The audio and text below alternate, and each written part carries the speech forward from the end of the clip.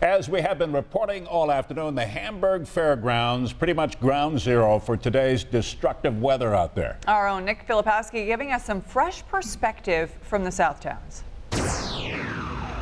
Hey guys, yeah, just to give you a gauge on how powerful this storm today was down at the Hamburg Fairgrounds. Take a look behind me. This is a tree, a massive tree that has literally been uprooted. The hole below is huge, and this tree probably weighs a couple thousand pounds completely taken right out of the ground. A tree that's been here probably for decades or even hundreds of years is now uprooted.